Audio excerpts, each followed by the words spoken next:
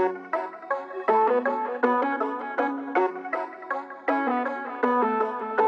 Danny, you gotta chill, bruh. Rich, why you doing to me like that?